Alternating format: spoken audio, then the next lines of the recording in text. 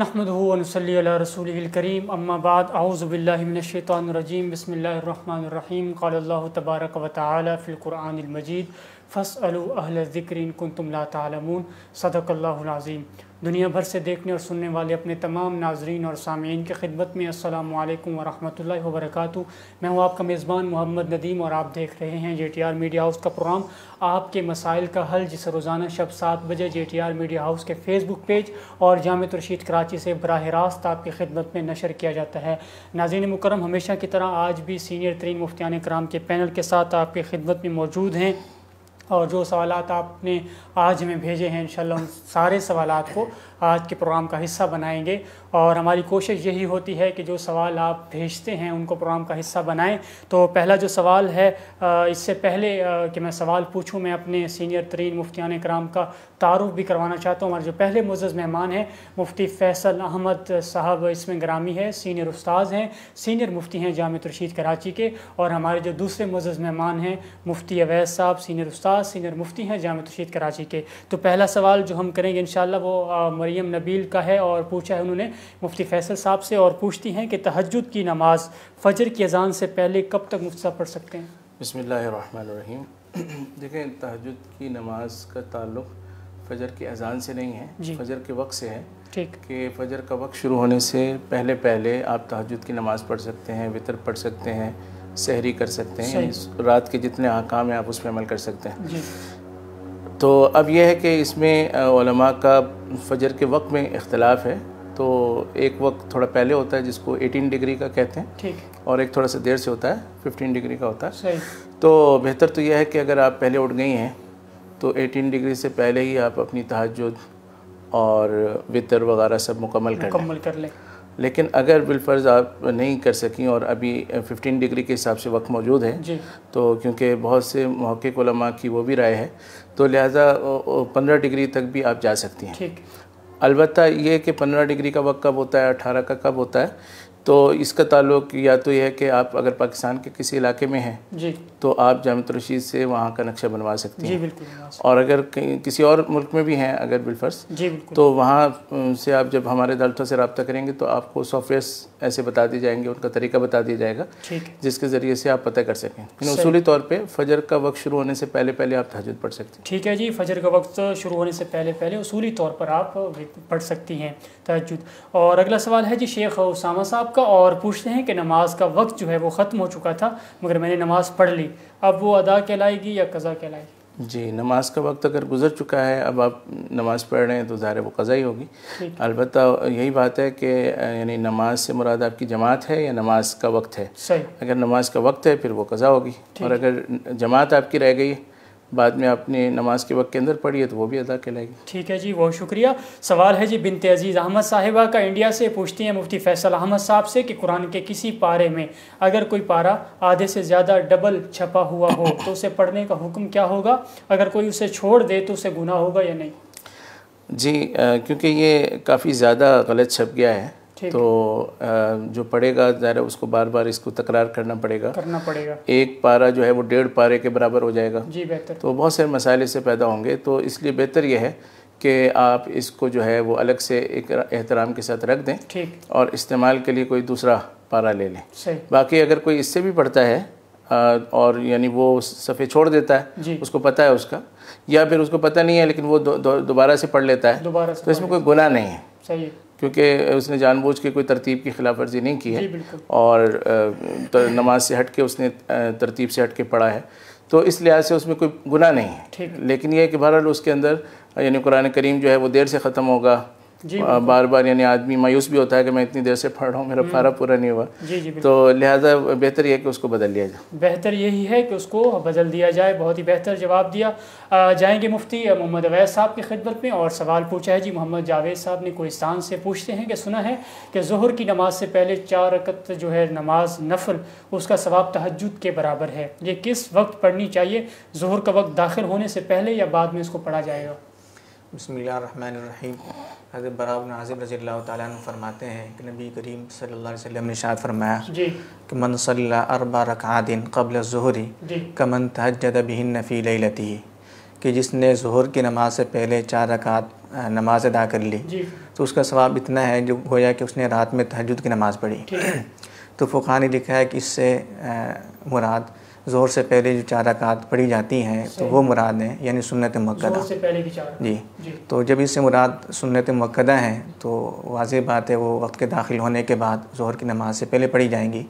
تو اس سے مراد یہ ہوگا کہ چار رکعت سنت مقدہ پڑھنا اس کا ثواب اتنا ہے کہ جتنا انسان رات کو کھڑا ہو کر تہجد ادا کر ادا کرتا ہے تو اتنا ثواب ملتا ہے تو اتنا ثواب سنت مقدہ کا ہوگا۔ جی بہت شکریہ۔ آ، سوال ہے جی مفتی ویس صاحب سے آ، لاہور سے پوچھا گیا اور پوچھتے ہیں کہ اگر نکاح میں دو گواہ ہوں جن میں سے ایک قاضی صاحب ہو تو کیا نکاح ہو جائے گا جی؟ جی اگر مجلس نکاح میں دلہن اور دلہا کے علاوہ اگر دو گواہ موجود ہیں قاضی کے علاوہ وہ عاقل بالغ مرد مسلمان ہیں تو نکاح تو ہو جاتا ہے۔ البتہ یہ الگ بات ہے کہ نکاح کے اندر شریعت نے تشہیر کو پسند کیا ہے کہ زیادہ سے زیادہ لوگ ہوں مجمع میں کیا جائے۔ جی نبی کریم صلی اللہ علیہ وسلم نے شاد فرمایا اعلنوا هذا النکاح وجعلوا فی المساجد۔ کہ نکاح کو خوب تشہیر کے ساتھ کرو اور مسجد میں ادا کرو۔ تو جب ایک دو مرد ہوتے ہیں تو اس کا مطلب یہ ہوا کہ تشہیر کے ساتھ نکاح نہیں ہو رہا بلکہ خفیہ طور پر کیا جا رہا ہے۔ تو یہ کوئی طریقہ شرعی اہ، لحاظ سے کوئی پسندیدہ طریقہ نہیں ہے لیکن نکاح بہرحال ہو جائے گا۔ نکاح بہرحال ہو جائے گا لیکن طریقہ جو ہے وہ کوئی پسندیدہ طریقہ نہیں ہے شریع اعتبار سے۔ بہت شکریہ جی سعودی عرب سے سوال پوچھا ہے گلفام نے اور پوچھتی ہیں کہ بیوی غصے میں بول دے کہ میں گھر سے چلی جاؤں گی اور ہم نے بول دیا کہ چلی جاؤ تو کیا اس سے طلاق تو نہیں ہوگی جبکہ ہماری نیت طلاق کی نہیں تھی؟ جی یہ شرعی طور پر طلاق کے جو مختلف قسم کے الفاظ ہیں جی۔ تو یہ کنائی الفاظ میں آتا ہے اذهبی چلی جاؤ۔ تو جو کنائی الفاظ ہوتے ہیں تو ان میں ضروری ہوتا ہے طلاق واقع ہونے کے لیے کہ شوہر طلاق کی نیت کرے۔ تو اگر شوہر کی طرف سے طلاق کی نیت نہ ہو تو پھر طلاق نہیں ہوتی۔ تو لہذا اس صورت میں انہوں نے نیت نہیں کی ہے تو یہ طلاق واقع نہیں ہوگی۔ صورت میں ان کی نیت چونکہ نہیں تھی تو طلاق بھی واقع نہیں ہوگی۔ جی بہت شکریہ۔ جائیں گے مفتی فیصل احمد صاحب کی خدمت میں اور سوال پوچھا ہے ام نجم نے پوچھتی ہیں سیالکوٹ سے کہ قرآن پاک کو دو بار یاد کرنے کا آسان طریقہ بتا دیں۔ میں چھوٹی عمر میں دس سال پہلے حفظ کر چکی تھی اب عمر تقریباً اڑتالیس سال ہو گئی ہے۔ کیا کرنا چاہیے جبکہ تلاوت الحمدللہ روزانہ کرتی ہوں؟ جی قرآن کریم انسان بھول جاتا ہے تو عام طور پہ یاد کرنے میں تھوڑی سی مشقت ہوتی ہے۔ جی۔ لیکن ماشاء اللہ آپ قرآن پڑھتی بھی ہیں اور توجہ بھی ہے جی۔ تو اللہ کرے گا انشاءاللہ آپ جلدی کر لیں گی۔ انشاءاللہ۔ یہ بات ذہن میں رہنی چاہیے کہ کیونکہ آپ شاید دیکھ کر تلاوت کرتی ہیں اور جو رمضان وغیرہ میں عام طور پہ ظاہر خواتین تراویح نہیں پڑھاتی جی بالکل۔ تو اس لحاظ سے مطلب آپ کے بار بار یعنی بغیر دیکھے پڑھنے کی کوئی صورت شاید پیدا نہیں ہوئی۔ ٹھیک ہے۔ اور آہستہ آہستہ آپ کا وہ جو یاد تھا آپ کا وہ بھولتی آپ چلی گئیں۔ جی۔ اب اس سلسلے میں تجویز یہ ہے کہ آپ روزانہ کا کوئی وقت طے کریں۔ صحیح۔ مقدار میں اس لیے نہیں کہہ رہا کہ ہو سکتا ہے کہ آپ کو وہ مقدار کرنے میں پورا دن ہی لگ جائے۔ جی۔ تو آپ کوئی وقت طے کر لیں مثلا ایک گھنٹہ آپ روزانہ قرآن کریم کو یاد کرنے یاد کرنے میں دیں۔ اچھا پھر اس میں آپ کو دو صفحے ہو جائیں پاؤ ہو جائے جتنا بھی ہو جائے۔ ٹھیک ہے۔ تو کیونکہ آپ تو دہرا رہی ہیں تو ہو سکتا ہے بعض جگہیں اچھی یاد ہوں تو ایک دم سے وہ یاد آنا شروع ہو جائے۔ جی بالکل۔ تو جتنی مقدار بھی ہو جائے ایک گھنٹہ رکھ کر آپ اس کو یاد کریں۔ صحیح۔ اچھا اس کے بعد پھر ہم جو سمجھ رہے ہیں وہ یہ ہے کہ آپ کا یہ مسئلہ پیدا ہی دیکھ کر پڑھنے سے ہوا ہے۔ ٹھیک۔ تو لہذا پھر اب اس حصے کو جو آپ نے یاد کر لیا ہے اس کو آپ بغیر دیکھے پڑھیں۔ بغیر دیکھے پڑھنے میں ذرا مشکل ہوتی ہے کوئی یعنی سنانے والا اگر نہ ہو تو اس لیے بہتر یہ ہے کہ اس دن کی جتنی بھی آپ نمازیں پڑھیں جی۔ تو اس میں اس کو دہرائیں۔ ٹھیک ہے۔ تو اس طرح سے آپ کو یعنی بغیر دیکھے پڑھنے کی ایک مشق ہوگی۔ اور آپ پر یعنی نماز میں ایک پریشر بھی ہوگا کہ جی۔ آپ ذہن پہ زور دے کے اس کو لائیں۔ تو اس طرح سے آپ ایک ترتیب بنائیں اور مزید یہ ہے کہ آپ پھر جو یہ یاد ہوتا جائے جی۔ پھر اس کے پھیرے کے لیے مزید آپ ایک گھنٹہ رکھیں۔ ایک گھنٹہ مزید رکھیں۔ تو تو اس طرح سے آپ کم از کم دو گھنٹے یعنی الگ سے اور باقی نمازوں کے اندر۔ ٹھیک۔ اگر آپ یہ وقت دے دیں گی تو انشاءاللہ آپ کو جلدی یاد ہونا شروع ہو جائے گا۔ انشاءاللہ۔ اور جب تھوڑے سے آپ کے یعنی وقت قابو میں آ جائے اور تھوڑی مقدار بڑھ جائے تو پھر بہتر ہوگا کہ آپ اس کے لیے کوئی معلمہ بھی رکھ لیں۔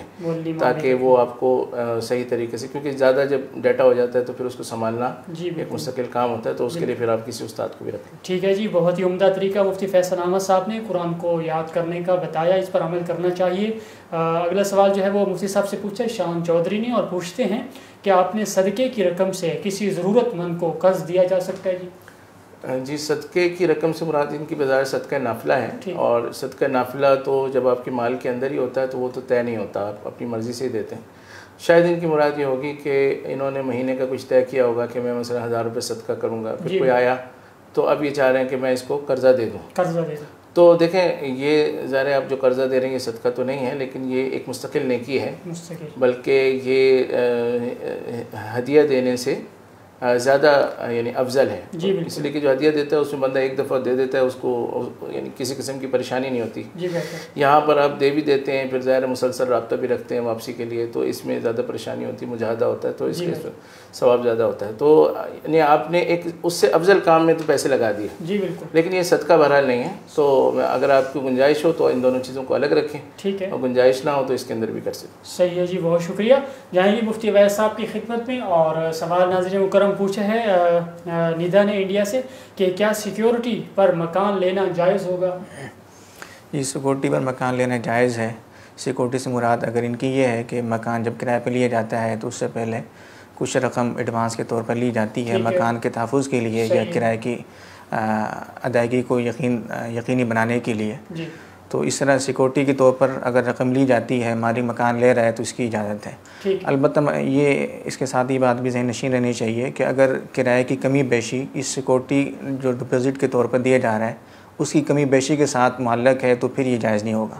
یعنی آپ مکان کرائے پہ دے رہے ہیں اور مکان کرائے پہ دیا جا دیا جا رہا ہے وہ یہ کہہ رہے دس ہزار روپے کرایہ ہوگا اگر آپ پچاس ہزار روپے دیں گے۔ اور اگر آپ ڈپوزٹ دیں گے ساٹھ ہزار روپے تو پھر کرایہ آٹھ ہزار روپے ہوگا۔ تو کرائے کی کمی بیشی اگر سیکورٹی کے اوپر معلق اور موقوف ہے تو پھر یہ صورت جائز نہیں ہوگی۔ ٹھیک ہے جی بہت شکریہ۔ مغیرہ احمد کا سوال ہے جی یو کے سے پوچھ رہے ہیں کہ کیا یو کے اسٹاک ایکسچینج میں انویسٹ کر سکتے ہیں ہم لوگ؟ جی یو کے اسٹاک ایکسچینج میں انویسٹ کرنے کی مختلف صورتیں ہو سکتی ہیں۔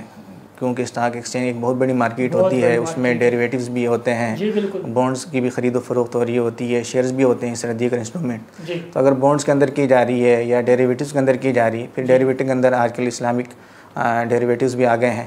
یا سکوک بھی آ گئے ہیں۔ جی۔ تو اس کے اوپر ڈپینڈ کرے گا کہ کس چیز میں انویسٹمنٹ کی جا رہی ہے۔ اگر۔ بونڈز کے اندر ہے یا ڈیریویٹیوز کے اندر ہے تو پھر یہ تو جائز نہیں ہے۔ لیکن اگر شیئرز کے اندر کی جا رہی ہے تو اس کے لیے پھر دو تین شرائط اگر ام، سامنے رکھ کر کیے جائے تو شیئرز میں کاروبار کرنے کی گنجائش ہوتی ہے کہ اس کا کور بزنس حلال ہو اور ایسے ہی جو اس کے فکس ایسیٹس ہیں وہ بھی موجود ہوں صرف دیون کی صورت میں یا نقدی کی صورت میں نہ ہو جی اور ایسی اگر وہ جو کمپنی ہے اگر وہ لون کے اوپر کہیں سے پیسے لے رہی ہے تو صورت میں ضروری ہوگا کہ یہ جو اس کی جنرل میٹنگ ہوتی ہے۔ اینول تو اس کے اندر باقاعدہ اس کے برات کا اعلان کرے یا تحریر طور پر لکھ کے دے دے۔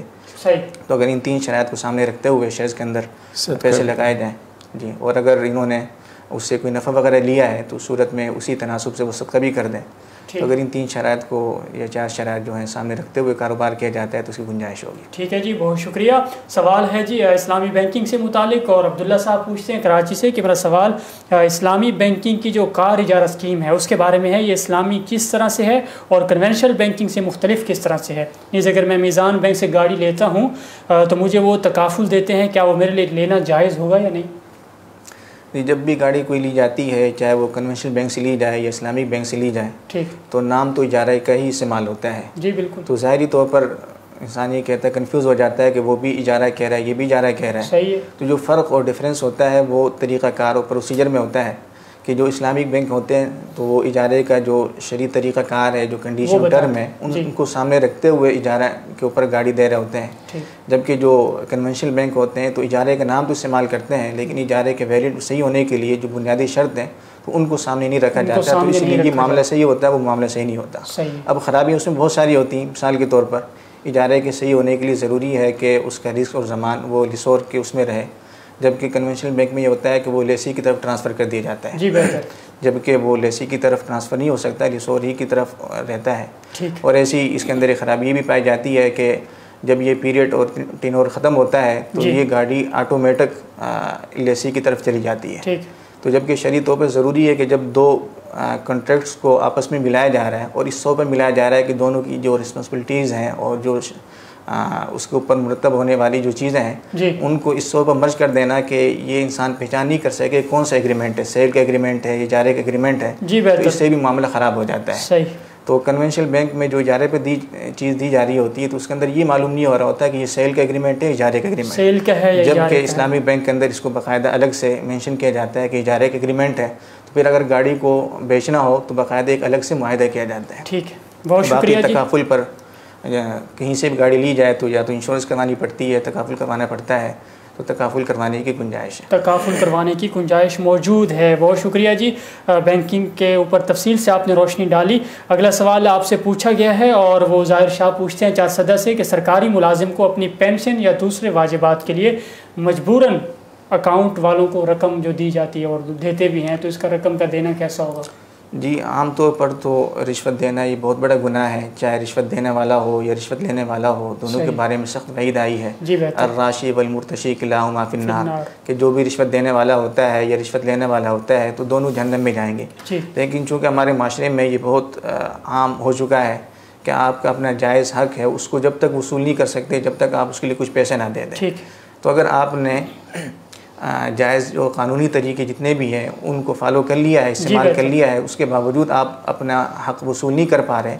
تو اس صورت میں رشوت دینے کی گنجائش ہے لیکن جو رشوت لینے والا ہے اس کو کسی بھی صورت میں لینے کی کوئی رخصت گنجائش نہیں ہے وہ گناہ کا مرتکب ہوگا۔ ٹھیک ہے جی وہ گناہ کا مرتکب ہوگا گنجائش بھی آپ نے بتائی اور جو لینے والا ہے اس کے لیے گناہ بھی آپ نے بتایا۔ تو اگلا سوال انشاءاللہ جائیں گے مفتی فیصل احمد صاحب کی خدمت میں اور سوال پوچھا ہے جی شامیر صاحب نے کراچی سے پوچھتے ہیں کہ کریڈٹ کارڈ سے خریداری کرنے پر جو پوائنٹس یا ایوارڈ ملتے ہیں کیا اس سے خریداری کرنا جائز ہوگا؟ جی کریڈٹ کارڈ سب سے پہلا مسئلہ یہ کہ خود بنانا جائز ہے یا نہیں۔ جی۔ تو کریڈٹ کارڈ جو ہے وہ عام حالات میں بنانا درست نہیں ہے۔ ٹھیک۔ البتہ اگر کسی شخص کے لیے یعنی اس کا بزنس اتنا جو ہے وہ پھیلا ہوا ہو جی۔ کہ وہ بغیر کریڈٹ کارڈ کے اس کو مینیج ہی نہیں کر سکتا۔ صحیح۔ اور اگر وہ اس طرح نہیں چلے گا تو اس کا بزنس جو ہے وہ کم ہونا شروع ہو جائے گا اس میں مسائل پیدا ہوں گے۔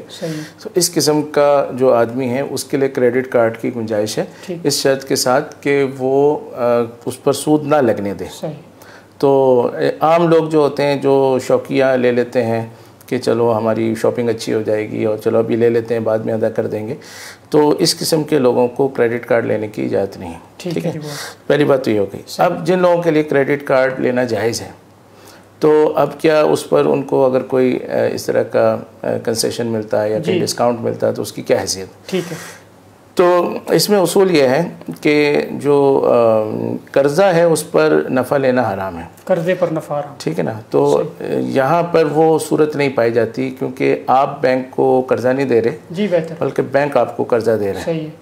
اور بینک آپ کو اضافی ایک نفع بھی پہنچا رہا ہے۔ جی بالکل دے رہے ٹھیک ہے نا؟ تو بینک کی طرف سے آپ کی طرف نفع آ رہا ہے آپ کی طرف سے بینک کی طرف نفع نہیں جا رہا تو اس لیے اس کی گنجائش ہے کہ آپ ایسا کریں۔ ٹھیک۔ ساتھ میں یعنی ہو سکتا ہے کوئی اس سے اس کو کنفیوژن ہو جائے وہ سمجھے کہ ڈیبٹ کارڈ بھی جائز ہے۔ جی لیکن ڈیبٹ کارڈ پہ اس طرح کا اگر یہ کنونشنل بینک ہے تو اس میں اس طرح کا جائز نہیں ہوگا۔ اس لیے کہ ڈیبٹ کارڈ کا مطلب ہے کہ آپ نے بینک کو قرضہ دیا ہوا آپ نے دیا صحیح۔ ٹھیک ہے کیونکہ ڈیبٹ کارڈ کے پیچھے اکاؤنٹ ہوتا ہے۔ جی کریڈٹ میں اکاؤنٹ نہیں ہوتا۔ تو آپ نے پیسے دیا ہوا ہے اور اس پیسے پر بینک آپ کو فیور دے رہا ہے۔ ٹھیک ہے۔ تو اگر اس جو بھی یعنی اس طرح کا ڈسکاؤنٹ ہے اس میں ڈسکاؤنٹ دینے والا یا بینیفٹ دینے والا بینک ہے جی۔ تو آپ کے لیے یہ جائز نہیں ہوگا۔ جی بہتر۔ اور اگر کسی سورس سے یہ پتہ چل جائے کہ دینے والا وینڈر ہے یعنی خود بینک نہیں ہے۔ جی بہتر۔ تو پھر اس کی بھی گنجائش ہوگی۔ صحیح جی بہت شکریہ۔ سوال ہے اگلا پوچھا ہے جی اسلم صاحب نے ممبئی سے اور مفتی فیصل احمد صاحب سے پوچھنا چاہ رہے ہیں کہ کوئی شخص اپنے بیٹے یا بیٹی کی شادی کر رہا ہے چونکہ بوقت شادی سونے یا چاندی کا کچھ زیور ضرور پہنایا جاتا ہے۔ اگر ایسا نہ ہو تو دونوں طرف خفت یا ذلت محسوس کی جاتی ہے۔ لیکن مذکورہ شخص کے پاس زیور بنوانے یا خریدنے کی طاقت نہیں تو کیا سونے یا چاندی کے زیور جو ہے اس کی متعین مقدار ایک ماہ یا دو ماہ کی متعین مدت کے لیے کرائے کی ایک طے رقم کر کے کرائے پر وہ لے سکتا ہے یا نہیں؟ اگر ہاں تو اس کی ممکنہ شکل کیا ہوگی؟ اس سوال میں دو اہم باتیں ہیں۔ ایک بات تو یہ ہے کہ وہ سمجھتے ہیں کہ اگر ہم نے سونا چاندی نہیں پہنایا تو گویا کہ ہم نے اس کو جو ہے نا مطلب ہاں اس کو ذلت سمجھ رہے ہیں اور یعنی بچی کی عزت خراب ہو رہی ہے۔ تو اول تو اس ان چیزوں کو پہلے طے کر لینا چاہیے اور ایسی جگہ پہ کرنا چاہیے جہاں پر بچی کو بچی کی حیثیت سے عزت ملے سامان کے ذریعے سے عزت نہ ملے۔ اور اس میں اس کا بھی خیال کرنا چاہیے کہ اگر آپ ابھی کہیں سے مانگ تانگ کے کر بھی لیں گے تو بات تو بہرحال دو چار دن میں مہینے میں دو مہینے میں کھلی جائے گی۔ کہ بھائی یہ تو انہوں نے صرف اپنی فیس سیونگ کے لیے کیا تھا ورنہ بعد میں اصل تو ان کا نہیں تھا۔ تو ہو سکتا ہے کہ جو پہلے سے اتنے ندیدے سسرال والے ہوں تو وہ اور زیادہ خراب ہو جائیں جی بگڑ جائیں۔ تو لہٰذا یہ کوئی حل نہیں ہے اس کا۔ تو لہٰذا پہلی بات تو یہ کہ اس طرح کرنا ہی نہیں چاہیے۔ ٹھیک ہے۔ ٹھیک ہے نا؟ دوسری بات یہ ہے کہ اس طرح سے یعنی زیور کو ادھار لینا کیونکہ اس کا عرف نہیں ہے۔ جی بہتر۔ تو لہٰذا اس کو ادھار لینا بھی ٹھیک نہیں۔ صحیح۔ ٹھیک ہے نا؟ کوئی ویسے عاریتاً دے دے کہ ٹھیک ہے آپ استعمال کر لیں اور بغیر کسی معاوضے کے وہ تو ٹھیک ہے۔ جی لیکن کرائے پر لینا اس کا ٹھیک نہیں۔ ٹھیک ہے جی بہت شکریہ کرائے پر لینا اس کا ٹھیک نہیں ہے۔ اگلا سوال زید پوچھنا چاہ رہے ہیں کینیڈا سے اور سوال ہے کہ یہاں کینیڈا میں میت کو دفنانے کے لیے بہت خرچہ ہوتا ہے۔ کیا کرسچن جو ہیں وہ اس کرسچن کوئی بھی ہے اس کو دفنانے کے لیے پیسے ہم لوگ دے سکتے ہیں کہ وہ اس کو میت کو دفنا دیں اچھا۔ یعنی یہ سوال نمبر پانچ جو پوچھا گیا۔ صحیح۔ جی یعنی یہاں پر سوال جو ہے تھوڑا سا ٹرکی ہے۔ ٹھیک ہے۔ یعنی یا تو یہ یہ پوچھنا چاہتے ہیں کہ کرسچن یعنی میت کرسچن کی ہے۔ جی میت۔ اور اس کو دفنانے کے لیے ہم کہیں ادائیگی کر دیں۔ ٹھیک ہے۔ تو ظاہر ہے کہ یہ کوئی یعنی عبادت کا معاملہ تو نہیں ہے۔ صحیح۔ ایک آدمی پر ایک لائبلٹی آ گئی ہے اس کو دفنانا ہے اور پیسے چاہیے۔ تو اگر آپ نے کسی غیر مسلم کی بھی عصمت میں مدد کر دی تو یہ آپ کو ثواب ملے گا جائز ہے۔ کیونکہ آپ اس کی کسی عبادت کے اندر یا کسی تقریب میں تو معاونت نہیں کر رہے۔ جی بہتر۔ دفنانا ہے وہ تو ظاہر ہے پہلے سے طے ہے کہ اس کو دفنانا ہی ہے۔ تو اگر آپ اس میں ادائیگی کرتے ہیں تو اور اگر آپ کی مراد یہ ہے کہ ہم اپنی میت دفنائیں گے اور پھر کسی کرسچن کو ہمیں پیسے دینے پڑیں گے کیونکہ یہاں پر تو پیسے جی، لیتے ہیں اچھے جی، خاصے۔ تو وہ بھی جائز ہے اس لیے کہ جو بھی آپ کو سروس دے رہا ہے تو آپ اس کو پیسے دیں گے چاہے وہ مسلمان ہو یا غیر مسلم ہو۔ صحیح جی بہت شکریہ۔ جو بھی اس کو دفنا رہا ہے تو سروسز کے پیسے اس کو آپ کو دینا پڑیں گے۔ بہت شکریہ جی۔ اگلا سوال پوچھا ہے جی مفتی فیصل احمد صاحب سے۔ بنت عبد الجبار صاحبہ نے انڈیا سے اور پوچھتے ہیں کہ کیا خواتین کے لیے ڈرائیونگ کرنا جائز ہوگا؟ جی ڈرائیونگ اگر شہر کے اندر اندر ہے اور کوئی سفر کی صورت پیش نہیں آ رہی ہے تو اس صورت میں تو بغیر کسی اس کے تردد کے جائز ہے اور جب سفر ہوگا تو ظاہر ہے محرم اگر ساتھ ہوگا تو اس کی بھی گنجائش ہو سکتی ہے۔ جی البتہ ڈرائیونگ جو ہے یہ کیونکہ عام طور پہ ایکسٹرنل کام ہے گھر کا کام نہیں ہے جی تو یہ خواتین کی اولین ذمہ داری بھی نہیں ہے۔ اور ان کا مطلب کوئی شوق بھی نہیں ہونا چاہیے۔ ضرورت کے تحت ہونا چاہیے۔ اب ضرورت میں یہ ہے کہ اگر مثلا آپ کے شوہر بزی ہیں اور آپ اپنے بچوں کو کسی کے ساتھ بھیجتی ہیں ڈرائیور کے ساتھ بھیجتی ہیں تو اس میں آپ انسیف رہتی ہیں۔ جی تو آپ انہیں خود ہی چھوڑ آتی ہیں تو یہ تو آپ کی یعنی ایک ویلڈ ضرورت ہے اور اس کے لیے آپ روز بھی جائیں تو اس میں کوئی حرج کی بات نہیں۔ لیکن اگر آپ کو ویسے ہی جیسے گھومنے گھامنے کا شوق ہے جی۔ اور ڈرائیونگ کے نام پر آؤٹنگ ہو رہی ہے اور وہ بغیر کسی خاص وجہ کے ہو رہی ہے جی تو یہ طرز جو ہے نا یہ پسندیدہ نہیں ہے کیونکہ۔ خواتین کے لیے اصل حکم یہ ہے کہ وہ حتی الامکان یعنی برقعے کا پردہ بھی نہیں بلکہ گھر کا پردہ کریں گھر میں رہیں۔ ٹھیک۔ اور جب ضرورت ہو تو باہر جائیں۔ تو صرف ایک ٹرینڈ کی وجہ سے ایسا نہیں ہونا چاہیے کہ ڈرائیونگ جائز ہے اور کیونکہ ساری گھومتی ہیں تو ہم بھی گھومیں گی۔ تو یہ طرز اچھا نہیں۔ ٹھیک ہے جی بہت شکریہ۔ یہ طرز اچھا نہیں ہے۔ اگر آپ کی نیت آؤٹنگ کی ہے کوئی ضرورت نہیں ہے تو یہ آپ کے لیے مناسب نہ ہوگا۔ بہت شکریہ۔ جائیں گے مفتی اویس صاحب کی خدمت میں اور سوال پوچھا ہے جی محمد سجاد صاحب نے۔ گجرات سے پوچھتے ہیں کہ بعض لوگ کھانا کھاتے وقت اور بیت الخلاء جاتے وقت ٹوپی پہننے کو ضروری سمجھتے ہیں۔ کیا ایسا شرعن ثابت ہے یا نہیں؟ یہ ٹوپی پہننے کو لازمی سمجھنا یہ بات درست نہیں ہے۔ ٹھیک ہے۔ کوئی پہنتا ہے تب بھی ٹھیک ہے نہیں پہنتا ہے اس کی بھی گنجائش ہے کوئی رج۔ نہیں ہے۔ البتہ بہتر یہ ہے کہ انسان کو سر کے اوپر ٹوپی رکھنی چاہیے جی بہتر۔ کہ فقہ نے لکھا ہے کہ نبی کریم صلی اللہ علیہ وسلم کا عام معمول یہ تھا کہ آپ ہر وقت سر مبارک کے اوپر ٹوپی یا ماما رکھا کرتے تھے۔ جی بالکل۔ تو جو کھانے کا دورانیہ ہے تو وہ پیس میں شامل ہے۔ صحیح۔ تو اس لیے اگر ٹوپی رکھ لی جائے تو یہ زیادہ بہتر ہے۔ ٹھیک ہے جی اگر ٹوپی رکھ لی جائے تو یہ زیادہ بہتر ہوگا۔ اگلا سوال مفتی اویس صاحب سے پوچھا ہے فہد نے ایپٹ آباد سے اور پوچھتے ہیں کہ بہوؤں کے درمیان بال اگر زیادہ ہوں تو کیا مردوں کے لیے ان کا کاٹنا جائز ہے یا ناجائز ہے؟ یہ اگر بال بہت ہی زیادہ ہیں اور چہرہ بدنما لگتا ہے تو اس ایپ کی ظالے کو ختم کرنے کے لیے اگر کچھ بال کاٹ دی جائیں اور۔ اس کو عام معمول میں لا- لایا جائے تو اس کی گنجائش ہے۔ صحیح ہے جی بہت شکریہ۔ سوال پوچھا ہے فواد احمد صاحب نے میر پرخاص سے پوچھتے ہیں کہ اگر کوئی شخص کسی یتیم بچے کو پالتا ہے تو اس بچے کا اس پالنے والے کی جائیداد میں حصہ ہوگا یا نہیں؟ اگر ہوگا تو کتنا ہوگا؟ جی اگر کوئی خونی رشتہ نہیں ہے صرف کسی یتیم بچے کو پال رہا ہے تو اس پالنے کی وجہ سے کوئی طرح کے حصہ نہیں ہوگا۔ البتہ اگر اس کے علاوہ کوئی خونی رشتہ بھی ہے جی کہ دادا ہے یا بھائی وغیرہ اس کی کفالت کر رہا ہے تو اس خونی رشتے کی وجہ سے طرح کم حصہ ہوگا نہ کہ حضانت و تربیت کی وجہ سے۔ صحیح ہے جی بہت شکریہ۔ آج کا آخری سوال مفتی فیصل احمد صاحب کی خدمت میں اور پوچھا ہے آمینہ نے۔ انڈیا سے پوچھتی ہیں کہ عمرے میں عورت کے چہرے کے پردے کا حکم کیا ہے؟ ہم کس طریقے سے اپنا چہرہ ڈھانکیں؟ نیز اگر چہرے پر کپڑا لگ جائے تو اس کا حکم کیا ہوگا جی؟ دیکھیں عمرے میں چہرے کے پردے کا حکم انہوں نے پوچھا ہے تو یہ دو الگ الگ چیزیں ایک عمرے یا عمرے کا احرام جب ہم باندھ لیتے ہیں تو پھر یہ پابندی ہے خواتین کے لیے کہ وہ چہرے پہ کپڑا نہیں لگنے دیں گے تو یہ ایک الگ چیز ہے۔ اور ایک ہے کہ شریعت نے ہر وقت چاہے عمرہ ہو یا نہ ہو ان پر پردے کا حکم ان کے لیے رکھا ہے کہ چہرہ ان کا کسی کو نظر نہ آئے۔ تو یہ دو الگ الگ چیزیں اور دونوں اپنی اپنی جگہ پہ درست ہیں۔ اور یہ دونوں جمع بھی ہو سکتی ہیں۔ حضرت عائشہ رضی اللہ تعالیٰ نے فرماتی ہیں کہ جب وہ حج کے موقع پر قافلے دور ہوتے تھے تو وہ چہرہ کھول لیتی تھیں۔ اور جب مردوں کے قافلے قریب آتے تھے تو پھر وہ دوبارہ سے سامنے کپڑا کر لیتی تھیں۔ جی بہتر۔ تو کپڑا لٹکانا تاکہ اس سے پردہ ہو جائے یہ تو ضروری ہے۔ البتہ وہ کپڑا جو ہے جو لٹکا ہوا وہ چہرے پہ لگنا نہیں چاہیے۔ تو یہ دونوں باتیں یعنی الگ الگ ہیں۔ تو جی اب اس کا کیا طریقہ ہو؟ تو اس کا عام طریقہ جو رائج ہے کم از کم پاکستان کے حد تک رائج ہے وہ یہ کہ ایک جیسے کیپ ہوتی ہے دھوپ والی جی اس کے آگے جو ہے وہ ایک برقع سا یعنی نکاب سا لٹکا ہوا ہوتا ہے۔ تو یہ مل جاتا ہے ہمارے یہاں پاکستان میں تو حاجی کیمپ وغیرہ میں آرام سے مل جاتا ہے۔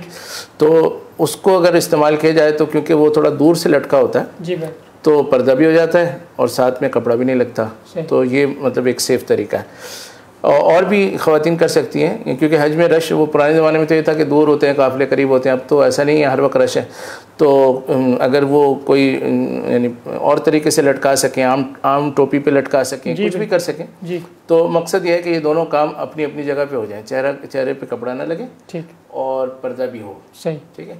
اچھا پھر انہوں نے پوچھا ہے کہ اگر کچھ لگ جائے کپڑا تو اس کا کیا حکم ہے؟ تو ایک لگنے کا مطلب یہ ہے کہ جیسے آپ چل رہی ہیں تو ہوا سے کپڑا اڑا اور منہ پہ لگا اور ہٹ گیا جی بالکل۔ تو کپڑا لگا نہیں رہا تو اس میں کچھ بھی نہیں۔ ٹھیک۔ ایک ہے کہ لگا اور تھوڑی دیر تک دو چار منٹ پانچ منٹ دس منٹ ایک گھنٹے سے کم کم کا وہ ہے۔ تو اگر اتنی سی دیر لگا ہے تو پھر آپ کو ایک مٹھی گندم جی۔ اس کا اندازہ کر لیا جائے تو جتنے بھی پیسے بنتے جی جتنے بھی بن رہے ہیں۔ تو وہ جتنی دفعہ ہوا ہے اس کا حساب کر کے دے سکتے ہیں۔ صحیح۔ اگر ایک گھنٹے سے زیادہ ہو ایک گھنٹہ ایک گھنٹے زیادہ ہو تو اس صورت میں پھر صدقہ فطر جو ہے اس کا حساب ہوگا۔ اور صدقہ فطر کا حساب پھر وہاں کے حساب سے ہوگا وہاں کے حساب کے حساب سے۔ تو وہ اس سال غالباً نو سو کچھ بن رہا تھا۔ ٹھیک۔ یعنی سستے سے سستا جو تھا جی وہ نو سو بن رہا تھا۔ تو وہ ہوگا۔ اور اگر بارہ گھنٹے ہو گئے جی۔ جو کہ عام طور پہ نہیں ہوں گے کیونکہ تو نہیں سوتا کوئی۔ تو سونے میں عام طور پہ ہوتا ہے کہ سونے میں یعنی تھوڑا سا اوپر لٹکایا تھا وہ گر گیا اور سوتے سوتے پھر کئی گھنٹے گزر گئے۔ جی بالکل۔ اس طرح ہو سکتا ہے۔ تو لیکن بارہ گھنٹے کوئی نہیں سوتا تو اس وجہ سے عام طور پہ یہ صورت پیش نہیں آتی۔ لیکن اگر کسی کی ایسی بھی صورت ہو جائے تو اس صورت میں پھر اس کے جو ہے وہ پورا دم یا ایک بکری ان کو صدقہ کرنی ہوگی۔ ٹھیک ہے۔ اور وہ دم جو ہے وہ حدود حرم کے اندر ہی دینا ہوتا۔ ہے صحیح۔ تو مختلف اس کی شکلیں ہوں گی تو جس طرح کی شکل ہو اس پہ عمل کر لیجیے۔ ٹھیک ہے جی بہت شکریہ۔ ناظرین مکرم، آج کے جو ہمارے سوالات تھے، ہم نے پروگرام میں شامل کیے اور انشاءاللہ کل بھی دوبارہ آپ کی خدمت میں حاضر ہوں گے اپنے نئے سوالات لے کر، اپنے سینئر ترین مفتیان کرام کے پینل کے ساتھ۔ ہمارے پیج کو لائک کیجیے اور آپ کا جو سوالات کے شامل کرنے کا پروسیس ہے وہ بڑا آسان ہے۔ وہ یہ کہ آپ جو ٹرانسمیشن چل رہی ہوتی ہے اس کے کمنٹ بار میں آپ نے اپنا نام، اپنے علاقے کے نام کے ساتھ اپنا سوال مینشن کرنا ہے انشاءاللہ ہم ان تمام تر سوالات کو جا کر کے اپنی ٹرانسمیشن کا حصہ بناتے رہیں گے۔ کل تک کے لیے میں اجازت دیجیے السلام علیکم ورحمۃ اللہ وبرکاتہ۔